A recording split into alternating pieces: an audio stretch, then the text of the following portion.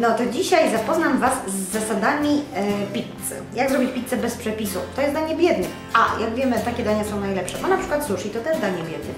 No dobra, to dzisiaj pizza.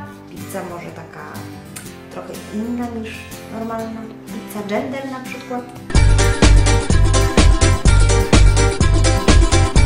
Co jest najważniejsze w pizzy? Ciasto, żeby nam fajnie wyrosło, było nie za grube i chrupiące. I teraz podstawowa zasada w pizzy to jest mniej więcej jedna proporcja płynu, czyli wody po prostu plus y, ciepłej wody plus łyżka oleju, może być rzepakowy, na trzy proporcje mąki. I teraz, jakiej mąki? No oczywiście lepszej gatunkowo mąki. Ene, due, like, fake, torba, borba, ósme smake, deus, deus, kosmeteus i morele pasta. Ja wybrałam dzisiaj żółtą mieszankę e, mąk ekologicznych. Na bułki, bagietki jest to mieszanka pszenno-orkiszowa. I mniej więcej potrzebujemy na właśnie pół szklanki, takiej małej szklanki, około półtorej szklanki mąki. Może być oczywiście pszenna, może być mieszanka pszennej z orkiszową. Możemy dodać trochę amarantusowej, która jest bardzo, bardzo zdrowa. Ale tak jak Wam powiedziałam, musi być mniej więcej, a może właśnie, dodajmy amarantusowej. Mąka amarantusowa, czyli inaczej z szarłatu, jest wyraźnie ciemniejsza i ma bardzo dużo walorów zdrowotnych. Mąka amarantusowa ma dwa razy więcej błonnika na przykład niż otręby. Zawiera dużo lepiej przyswajane białko niż w mleku, ale najciekawszym mm, jego, najciekawszym, najciekawszą zaletą jest fakt, że zawiera 10 razy więcej skwalenu niż oliwa z oliwek, a więc antyoksydantu, który to jest odpowiedzialny za e, naszą, nasz proces starzenia się, hamuje ten proces. I teraz tak, zobaczcie, Czyli tak jak powiedziałam, trzy porcje mąki do mniej więcej jednej porcji, czyli na przykład jeżeli damy jedną szklankę ciepłej wody z łychą oleju rzepakowego, to wtedy trzy szklanki mąki. Oczywiście może być mieszana ta mąka. Ja tutaj dodałam, przypomnę, e, pszenica plus orkisz plus amarantus. I teraz tak, co jest najważniejsze, tak jak e, już wspomniałam wcześniej w pizzy, a więc ciasto, żeby nam wyrosło. I nie dodałam oczywiście, że do ciasta trzeba dodać szczyptę soli, cukru i torebkę suchych drożdży, czyli 7 gram. Takie ciasto, tak przygotowane, trzeba po prostu odstawić w ciepłe miejsce. Ono musi mniej więcej odchodzić od ręki. Czyli naprawdę nie trzeba znać przepisu. Jeżeli jest takie dosyć miękkie jak to, można odrobinę dosypać jeszcze mąki. Znowu dosypuję mieszankę pszenicy z orkiszem, tak aby nam po prostu odeszło od ręki. Tak przygotowane ciasto odstawiamy mniej więcej na godzinę w ciepłe miejsce, 40 minut.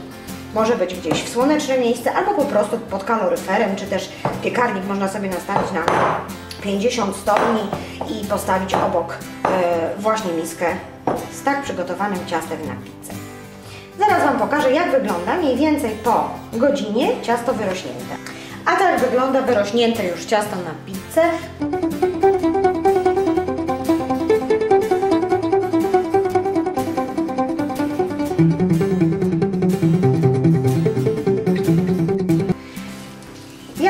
wolę cieńszy spód do pizzy, a więc tak rozwałkowany. W tej chwili przedzielę na pół, bo tak jak już powiedziałam, będzie to pizza gender. I połowę tej pizzy posmaruję koncentratem pomidorowym, ta część będzie delikatniejsza, drugą połowę za chwilę posmaruję po prostu musztardą tabasco. Następna warstwa to mozzarella tarta i koryciński. Ja bardzo lubię, bo to jest ser z niepasteryzowanego mleka, a więc zawiera dużo wapnia. Należy go tylko zetrzeć.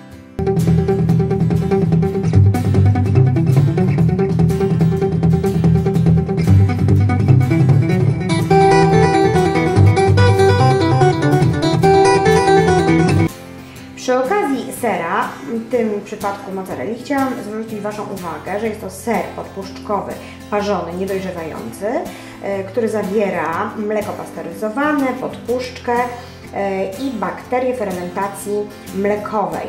E, o ile ser mozzarella można kupić i polecam w normalnych sklepach czy hipermarketach, o tyle inne sery, i tu Wam chcę pokazać właśnie co zawierają, lepiej jest uważać. A na co? A na substancję konserwującą, jaką jest azotan potasu.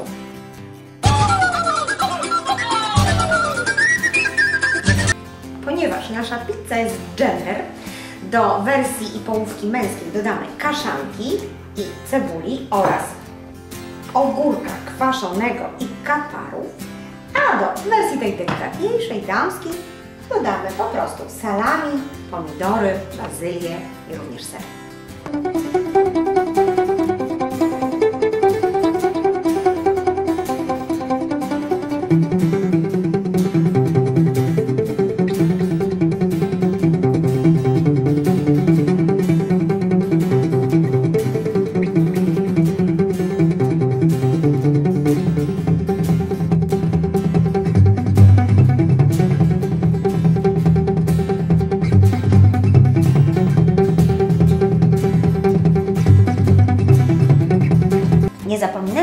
Idealnym dopełnieniem smaku pizzy są zioła, nie tylko pizzy gender, tak jak moja, ale każdej.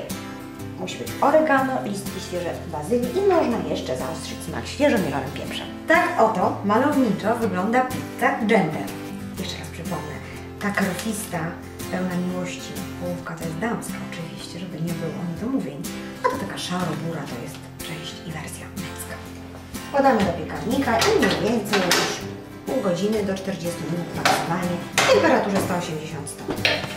Najwyższy czas skonsumować pizzę gender. Tak oto wygląda połówka kaszanka dla panka i salami dla pani. Kłaniam się nisko.